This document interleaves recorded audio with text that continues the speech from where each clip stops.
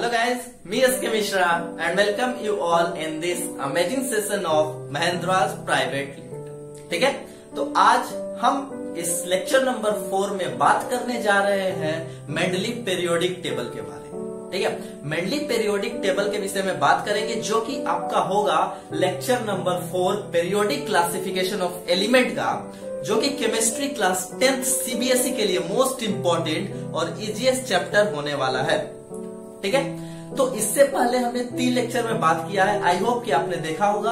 अगर नहीं देखा है तो मैं लिंक डिस्क्रिप्शन में दे दूँगा। वहाँ से जाकर के आप तीन लेक्चर पहले देख लीजिए। So that you will be able to understand this lecture and the concept of Mendeleev periodic table in very very simple way ठीक है? तो पहले लेक्चर में हमने इसके इंट्रोडक्शन विषय में बात किया था कि आखिर पेरियोडिक टेबल क्या है और क्यों ज़रूरी है। दूसरे लेक्चर में हमने बात किया था आपको ट्रायड्स के विषय में, ठीक है? डोबर्नियर ट्रायड्स थर्ड लेक्चर में हमने बात किया था न्यूलैंड लॉ ऑफ़ ऑक्टेव और आज लेकर के आया हूँ आपके लिए Mendeleev periodic so Mendeleev periodic table अब हम आगे देखने जा रहे हैं। उससे पहले जिन्होंने इस चैनल को लाइक शेयर और सब्सक्राइब नहीं किया है तो please hit that red subscribe button and don't forget to push that bell icon also so that you will be notified when we upload videos. So let's begin our today's lecture.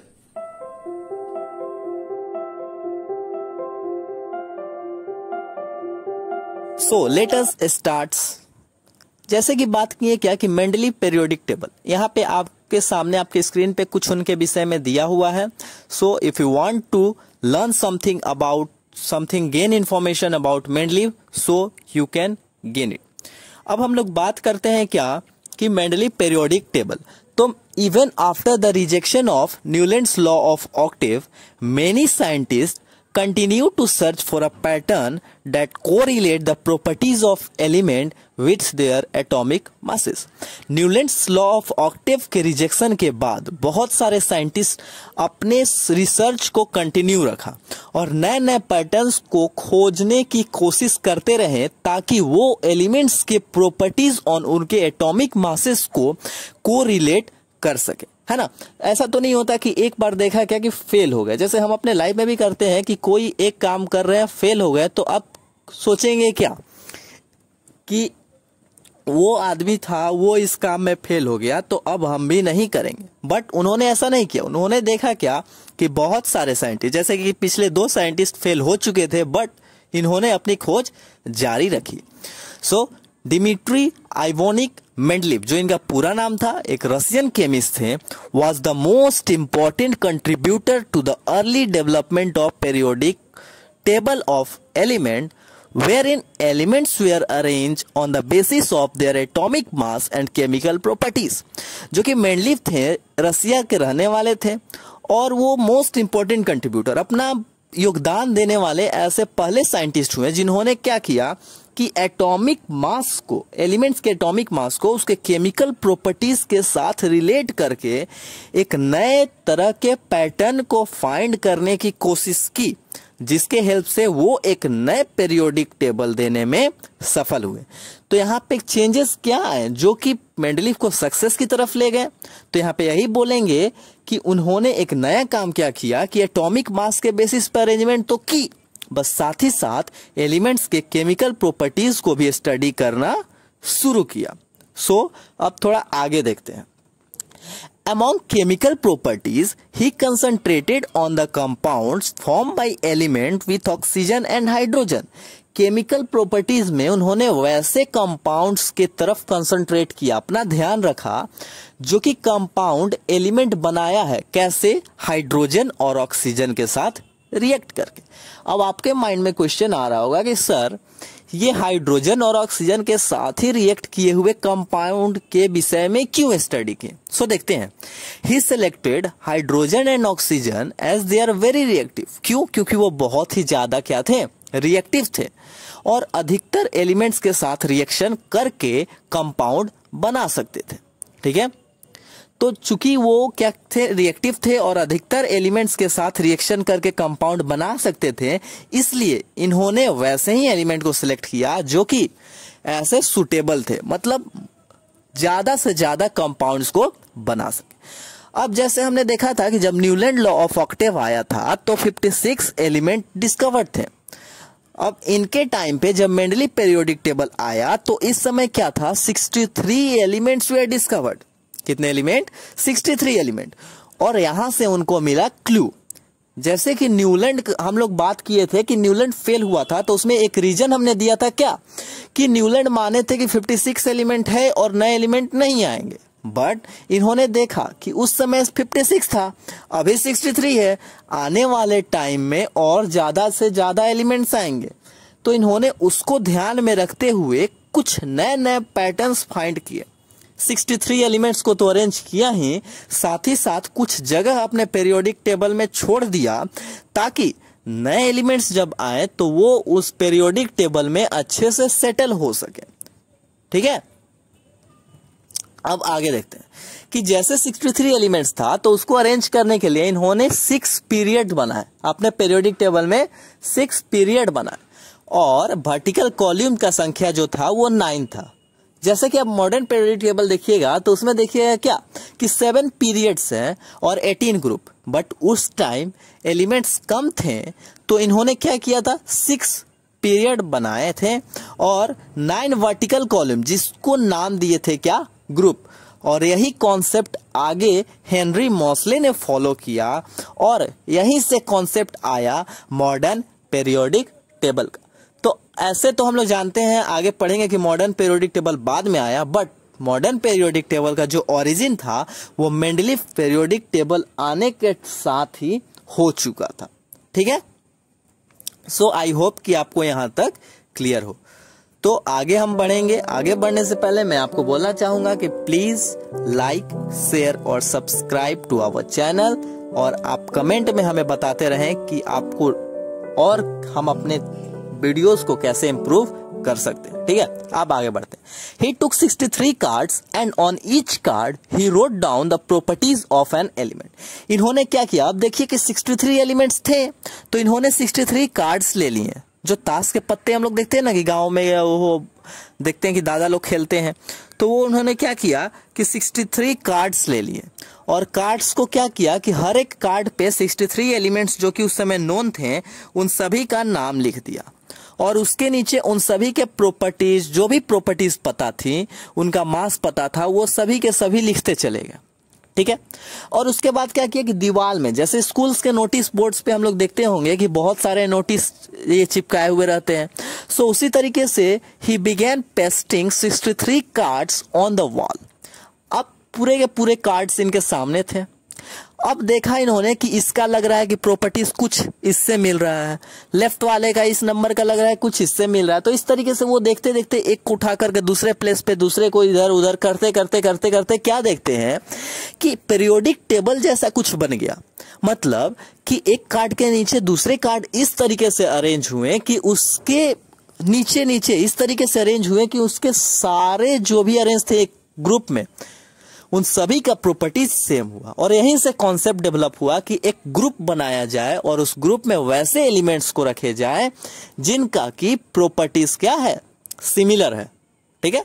सो अब next बात करते हैं कि Mendeleev periodic table is based on Mendeleev periodic law और first time इन्होंने कुछ rules बना दिए कि अब ये खत्म नहीं होगा। इनका मानना था कि अब ये खत्म नहीं होगा और इसके लिए कुछ ज़रूरत थी, कुछ रूल्स की, कुछ लॉज की। सो ही डेवलप अ रूल जिसको बोलते हैं मेंडली पेरियोडिक लॉ जो कि आपके एग्जामिनेशन में भी कई बार पूछे जा चुके हैं और इस बार भी पूछे जा सकते हैं। सो so, ध्यान से देखिएगा। मेंडली पेरियोडिक लॉ क्या कहता है? मेंडली पेरियोडिक लॉ कहता है the physical and chemical properties of element क्या? Physical and chemical properties of element are periodic function of their atomic mass है ना? जैसे कि बोलते हैं पेरियोडिक फ़ंक्शन कहने का मतलब क्या हुआ? जैसे कि हम लोग देखते हैं अभी के पेरियोडिक टेबल में कि हाइड्रोजन है। हाइड्रोजन के नीचे लिथियम फिर सोडियम तो ये क्या है? पेरियोडिक फ़ंक्शन है। मतलब एक ग्रुप में इस तरीके से नंबर एटॉमिक नंबर घूम के आ जा रहा है कि अगला एटॉमिक नंबर वो उसके नीचे आ रहा है। तो उस समय एटॉमिक नंबर का कॉन्सेप्ट नहीं था। किसका था? मास का।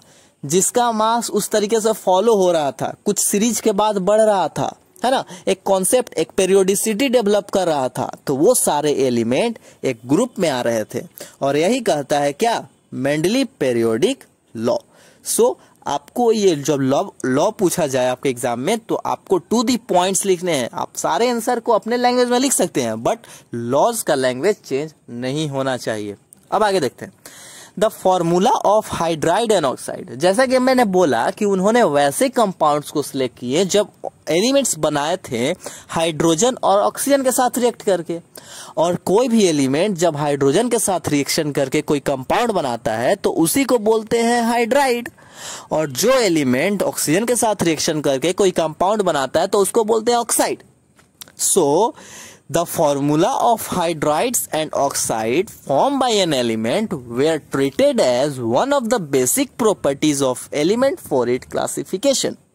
मतलब जो भी फॉर्मूला था हाइड्राइड और ऑक्साइड का, उसको एक बेसिक प्रॉपर्टी माना गया कि हम एलिमेंट्स को क्लासिफाई कर सकते हैं वो सारे एलिमेंट जो कि हाइड्राइड के हाइड्राइड और ऑक्साइड बनाए थे, उनमें कुछ पेरियोडिसिटी फाइंड की कुछ सिमिलैरिटी फाइंड की कि ये हाइड्राइड और दूसरे हाइड्राइड में क्या फ़र्क है, क्या सिमिलर है, और उसके नीचे अरेंज करते चले। ठीक है? आई होप कि क्लियर हो। अब आगे देखते हैं characteristic of Mendeleev periodic table जो कि क्या है? So first point Mendeleev arrange all the 63 known element in increasing order of their atomic mass पहला कैरेक्टरिस्टिक अगर आपसे पूछा जाए तो बोलेंगे कि मेंडलीव ने क्या किया? जितने एलिमेंट्स नोन थे और कितने नोन थे? तो 63 तो 63 एलिमेंट्स को increasing order of atomic mass के बेसिस पे अरेंज किया। ठीक है? Second the table consist of vertical column called group जो वर्टिकल कॉल्यूम उनके ग्रुप सॉरी पेरियोडिक टेबल में थे, उनको उन्होंने क्या नाम दिया? ग्रुप और जो हॉरिजेंटल रोज थी, उसको नाम दिया क्या? पीरियड्स क्या नाम दिया? पीरियड्स जैसा कि आप कंप्यूटर में भी पढ़े होंगे टेबल्स के विषय तो वहाँ पे क्या देखा होगा आपने कि टेबल में क्या होते हैं रोज और कॉलम मिलाकर के क्या बनाते हैं? सेल जैसा कुछ स्ट्रक्चर सो so, यहाँ भी उसी तरीके का कुछ कॉन्सेप्ट था कि उन्होंने अपने पेरियोडिक टेबल में जो हॉरिजेंटल इनका कॉलम था उसको इन्होंने नाम दिया था ग्रुप्स और जो वर्टिकल रोज थे उनको उन्होंने नाम दिया था क्या? कॉलम्स सो so, अब देखते हैं कि ग्रुप्स और पीरियड का कॉन्सेप्ट समझ में आया। अब आते हैं elements with similar physical and chemical properties came under same group एक ग्रुप एक वर्टिकल कॉलम के अंदर कौन कौन से एलिमेंट्स आते थे? तो वो सारे एलिमेंट्स आते थे जो कि क्या करते थे? सिमिलर प्रॉपर्टीज़ कौन सा प्रॉपर्टीज़ फ़िज़िकल और केमिकल प्रॉपर्टीज़ एग्जिबिट करते थे। मतलब सिमिलर फ़िज़िकल और केमिकल प्रॉपर्टीज़ वाले एलिमेंट ही एक ग्रुप में लाइज करते थे। सो so, यहाँ तक आपको समझ में आया होगा। अभी तक हमने स्टार्टिंग से देखा कि मेंडली पेरियोडिक लॉ क्या है मेंडली पेरियोडिक टेबल किसने दिया और इसके क्या क्या कैरेक्टरिस्टिक थे कितने एलिमेंट्स उस टाइम तक डिस्कवर्ड हो चुके थे। ठीक है? अब आगे बढ़ते हैं। तो आगे बढ़ने से पहले मैं आपको बोलना चाहूँगा कि आप ये जो लेक्चर देख रहे हैं इससे पहले आप ये इंश्योर कीजिए कि आपने प्रीवियस तीन लेक्चर देख चुके हैं, ताकि ये कॉन्सेप्ट भी आपको अच्छे से समझ में आ जाए। जिसका कि लिंक मैं आपको नीचे डिस्क्रिप्शन में दे दूँगा, लेक्चर वन, लेक्चर टू और लेक्चर थ्री केमिस्ट्री का करके। आप वहाँ से इस लेक्चर को वॉच कीजिए, समझने की कोशिश कीजिए और इसके नोट्स को वीडियोस पॉज कर करके नोट्स बनाते रहिए, क्योंकि सेल्फ मेड नोट्स जो होते हैं, वो आपके एग्ज़ाम के लिए आपको अच्छे से प्रिपेयर करते हैं। ठीक है? और बाकी जो नोट्स नहीं बना सकते हैं या फिर जिनको बोल सकते हैं कि जो आलसी हैं, है ना? वैसे आप लोग आई होप कि आलसी नहीं होंगे जो वीडियो देख रहे हैं बट जिनको नोट्स बनाने के मन नहीं होगा, वो हमारे डिस्क्रिप्शन और कमेंट सेक्शन से नोट्स को डाउनलोड भी कर सकते हैं। अब आते हैं मेरिट्स अब हमने देखा क्या कि ये पेरियोडिक टेबल आया तो कहीं ना कहीं ये सक्सेसफुल हुआ। तो ये जो सक्सेस हुआ तो इसका मेरिट क्या है? है ना? मेरिट मतलब इस सक्सेस कैसे हुआ और क्यों हुआ? तो he have simplified and systematize the study of element क्यों? क्योंकि इन्होंने सारे एलिमेंट्स को सिस्टमैटिक वे में किया और सिस्टमाइज कर दिया सिस्टम में दिखाया और सिंप्लीफाइड वे में दिखाया। Second he left some blank spaces for discovery of new element इन्होंने क्या किया कि कुछ ब्लैंक स्पेसेस खाली जगहों को छोड़ दिया ताकि जब न्यू एलिमेंट्स आए तो वो क्या हो सके कि अपने अपने जगह पे सेटल हो सके। जो कि इन्होंने पिछले देखा था, है ना? ये कहाँ से सीखे थे? पिछले दो पीरियोडिक टेबल से, जो कि न्यूलैंड साहब ने दिया था और डोबर्नियर साहब ने दिया था। उन्होंने क्या किया था गलती? कि उन्होंने कोई जगह नहीं छोड़ी और नए एलिमेंट्स आए तो उनको सेटल होने में दिक्कत हुआ। तो इन्होंने क्या किया कि उनसे सीखते हुए अपने पेरियोडिक टेबल में कुछ जगहों को, कुछ स्पेस को ब्लैंक छोड़ा, ताकि वहाँ पर जो नए नए एलिमेंट्स आए, वो अपने अपने जगह लेते रहे। ठीक है? सो आपको मेरिट्स में पहले ये दोनों पॉइंट्स को याद रखने हैं, और इसके आगे भी अब हम हम देखेंगे। सो आई होप कि आप लोगों को यहाँ तक क्लियर हो। सबसे पहला मेरिट्स आपको याद रखना है क्या? कि उन्होंने सिंप्लीफाइड और सिस्टमाइज। है ना? क्योंकि हम पेरियोडिक टेबल क्यों दिए हैं? ताकि हमारा स्टडी सिंप्लीफाइड वे में हो सके और सिस्टमैटिक वे में। है ना? क्यों हम पेरियोडिक टेबल देते हैं? ताकि ये हमारा क्या बनाए? स्टडी को इजी बनाए। और इनका ये पेरियोडिक टेबल ये काम कर रहा था। इसको क्या कर रहा था? इजी बना रहा था। क्योंकि एक ग्रुप में सारे एलिमेंट्स को याद रखना संभव था। ठीक है? अब आगे देखते हैं। नेक्स्ट मेरिट पे आते हैं कि Mendeleev predicted the discovery of some elements and named them as eka boron कुछ उन्होंने प्रिडिक्ट किया कि नए नए एलिमेंट्स आएँगे और उनका नाम दे दिया इक्का बोरोन जैसे कि बोरोन पहले से था इक्का एल्युमिनियम जैसा एल्युमिनियम पहले से था, और इक्का सिलिकॉन जो तीन एलिमेंट्स थे, इसी तरीके से और भी नाम नेमिंग उन्होंने किया था। जैसे कि बोरोन पहले से था एल्युमिनियम और सिलिकॉन इसका उन्होंने नेमिंग उसके नीचे एक जो स्पेस छोड़ा, उसमें कर दिया इक्का बोरोन, इक्का एल्युमिनियम और इक्का सिलिकॉन और बोला कि यहाँ पर जो एलिमेंट्स आएँगे, उनका प्रॉपर्टीज़ क्या होगा? बोरोन सिलिकॉन और एल्युमिनियम से बिल्कुल सेम होगा। और ताजुब की बात यह है कि जब नए नए एलिमेंट डिस्कवर्ड हुए, वो जब इनके ग्रुप में इन सारे एलिमेंट्स के नीचे जब अरेंज होते गए तो हुआ क्या कि 95 परसेंट तक 95 परसेंट तक क्या हुआ कि इनके प्रॉपर्टीज़ सिमिलर आ रहे थे। इनको पता नहीं था कि कौन से एलिमेंट्स आएँगे बट जब आए तो 95 परसेंट तक सिमिलर प्रॉपर्टीज़ उनमें देखा गया। ठीक है? Later element such as scandium gallium और germanium took the position predicted by him आगे चल के जो तीन एलिमेंट डिस्कवर्ड हुए, जो स्कैंडियम गैलियम और जर्मेनियम ये इनके द्वारा प्रिडिक्ट किया गया पोजीशन को ले लिए। ठीक है? अब आते हैं नेक्स्ट मेरिट पे। तो noble gas discovered later could be place without disturbing the existing order जो नोबल गैस आगे चल के डिस्कवर्ड हुए, जैसा कि अभी हम लोग जानते हैं, कितने नोबल गैस हैं? छह। Helium neon argon krypton xenon और रेडॉन ये जो छह नोबल गैस आगे चल के बहुत बाद में डिस्कवर्ड हुए, इनको भी मेंडलिप के पीरियोडिक टेबल में जगह मिला। ठीक है? तो कहने का मतलब है इन्होंने सोच रखा था कि आगे चल के एलिमेंट डिस्कवर्ड होंगे और हुए तो जगह मिला। ठीक है? अब देखते हैं, जैसा कि यहाँ पे दिया हुआ है कि कुछ टेबल्स में देखिए इक्का एल्युमिनियम लिखा हुआ है। तो इक्का एल्युमिनियम पे एक नया एलिमेंट जो आया, उस समय इन्होंने क्या कहा था कि गैलियम नाम का, उन्होंने नाम नहीं सजेस्ट किया, क्योंकि नेमिंग तो पता नहीं था। तो उन्होंने बोला, एक एलिमेंट आएगा जिसका प्रॉपर्टीज़ एल्युमिनियम के जैसा होगा और उसका नाम रख दिया इक्का एल्युमिनियम यहाँ पे जो इक्का वर्ड है, ये एक संस्कृत का वर्ड है। ठीक है? जिसका मतलब होता है वन स्टेप आगे। है ना? एक स्टेप आगे। ठीक है? तो यहाँ पे क्या है? इक्का एल्युमिनियम जो लिखा हुआ है, इसका अभी का जो नेमिंग है, वो है गैलियम उसी तरीके से इक्का बोरोन जो है, उसका मतलब अभी का जो एलिमेंट है, उसका नाम हुआ स्कैंडियम जो उस समय रखा था इक्का सिलिकॉन तो अभी उसका नाम हो गया जर्मीनियम। और जो रखा था इका मैंगनीज, जो कि मैंगनीज के नीचे आया तो उसका नाम था टिलेरियम सो आई होप कि आपको यहाँ तक क्लियर होगा कि किस तरीके से पहले नेम प्रिडिक्ट किया और जैसे जैसे नेम एलिमेंट्स आए तो उनको कैसे कैसे उसके पेरियोडिक टेबल में जगह मिला। अब आते हैं, अब देखे गया कि अभी हमारे पास तो मॉडर्न पेरियोडिक टेबल है तो कहीं ना कहीं ये भी फेल हुआ होगा। तो फेल तो हुआ तभी जाकर के नेक्स्ट पेरियोडिक टेबल आया।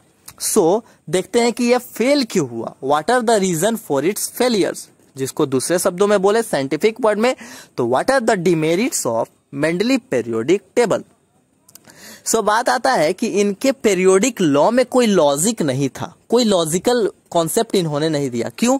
क्योंकि अभी हम लोग जानते हैं क्या एक ही भाषा समझते हैं एटॉमिक नंबर एटॉमिक नंबर से सारे प्रॉपर्टीज़ डिफाइन होते हैं। बट इन्होंने अपने पेरियोडिक लॉ में जो कॉन्सेप्ट यूज़ किया था वो कॉन्सेप्ट था एटॉमिक मास का। सो so, इसको बोला गया कि कोई लॉजिक नहीं है। सेकेंड आते हैं।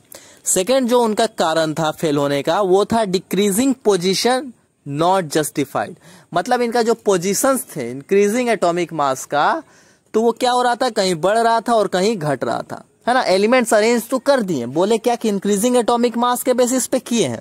बट जब आगे गए तो कुछ हुआ क्या कि कुछ के जो कम थे, जैसे मान लेते हैं कोई एक एलिमेंट है लेट से गैलियम गैलियम के आगे मान लेते हैं कोई एक एलिमेंट एलिमेंट आया।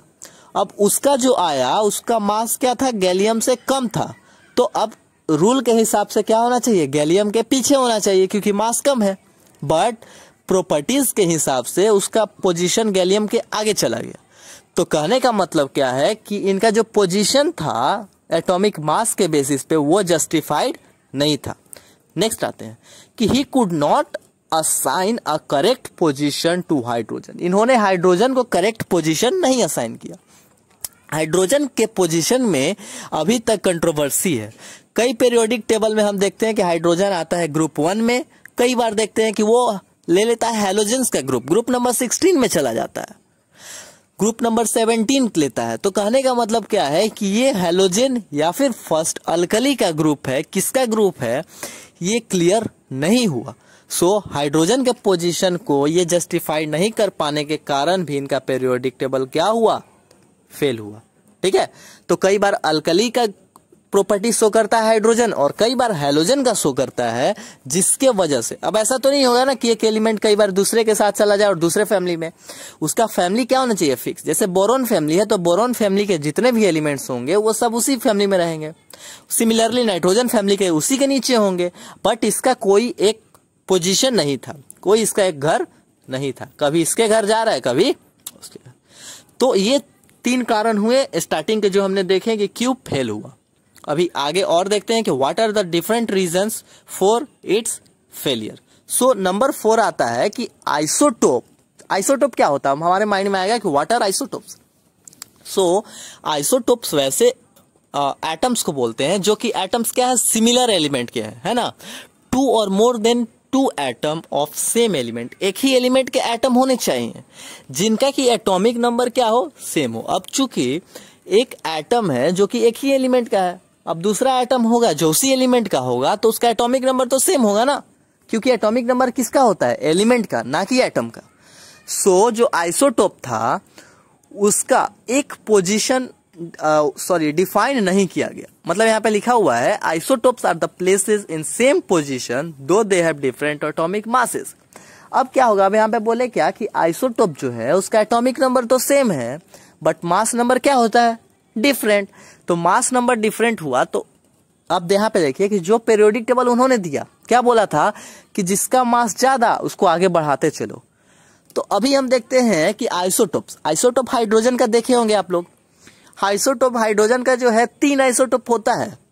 ठीक है? जिसका मास होता है ट्वेंटी थ्री ट्वेंटी फोर और ट्वेंटी फाइव सोडियम का, उसी तरीके से हाइड्रोजन का होता है एच वन और टू और थ्री और हाइड्रोजन का क्या होता है कि वन, टू और थ्री तीन मास होते हैं। तो इसका मतलब कि सॉरी क्या होना चाहिए? इसका मतलब क्या होना चाहिए कि तीन जगह पे हाइड्रोजन ही होना चाहिए। बट ऐसा होता तो नहीं है। हाइड्रोजन को कहीं एक जगह ही मिलेगा ना। सिमिलरली अगर हम बात करें कि कार्बन तो कार्बन का एटॉमिक नंबर सिक्स है मास नंबर ट्वेल्व है। तो अगर कार्बन के आइसोटोप का बात करें तो दो आइसोटोप मेनली क्या होता है, दो आइसोटोप, ऐसे अब साइंटिस्ट के द्वारा रिकॉग्नाइज किया गया है कि तीन आइसोटोप पाए जाते हैं। जैसे हुआ क्या कि सिक्स सी सिक्स ट्वेल्व है ना? कार्बन सी हुआ सिंबल उसका, और सिक्स उसका एटॉमिक नंबर ट्वेल्व उसका मास तो एक मास होता है ट्वेल्व एक होता है थर्टीन और एक फोर्टीन तो कहीं ना कहीं कार्बन भी कितने टाइम्स होने चाहिए? तीन टाइम्स बट कार्बन को तीन जगह पे क्या हम अरेंज कर सकते हैं? नहीं, कोई एक ही प्लेस स्पेसिफाई होना चाहिए। तो इस तरीके से क्या हुआ? आइसोटोप्स को एक पोजीशन नहीं मिल रहे थे। ठीक है?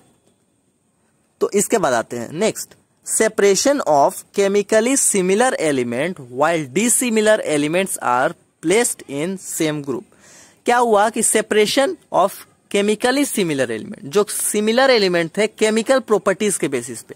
केमिकल प्रॉपर्टीज़ के बेसिस पे बहुत सारे ऐसे एलिमेंट हुए जो कि सेम हुए.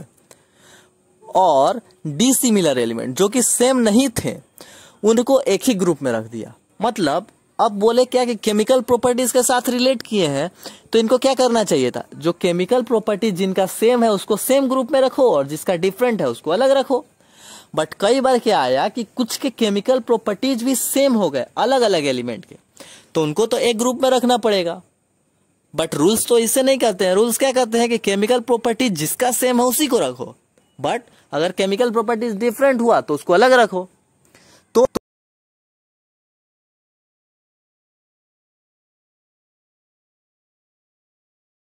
तो इस तरीके से क्या हुआ कि उनका पेरियोडिक टेबल फेल हुआ। है ना? उन्होंने केमिकल प्रॉपर्टीज़ को ध्यान में रखते हुए एलिमेंट्स का क्लासिफिकेशन सही से नहीं किया।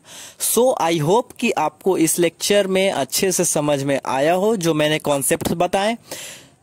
और मैं आपको बताना चाहूँगा कि ये आपके बोर्ड पॉइंट ऑफ़ व्यू से सफिशियंट है। ठीक है? अब इसके बाद आपको कुछ पढ़ने की ज़रूरत नहीं है। बस आप क्या कीजिए, इस लेक्चर को अच्छे से देखिए, उसके बाद इसके नोट्स को अच्छे से प्रिपेयर कीजिए एंड देन फाइनली आपको एक ही काम करना है कि एनसीईआरटी क्योंकि एनसीईआरटी तो पढ़ना पड़ेगा है ना? एनसीईआरटी आपके लिए क्या है? रामबाण है। बिना एनसीईआरटी के आप एग्ज़ाम्स में अपियर तो हो ही नहीं सकते। सो so, मैं अपने लेक्चर को यहीं पे वाइंड करता हूँ और आई होप कि आपको अच्छे से समझ में आया तो और तब तक आप अच्छे से पढ़ते रहिए और नेक्स्ट लेक्चर के लिए वेट कीजिए।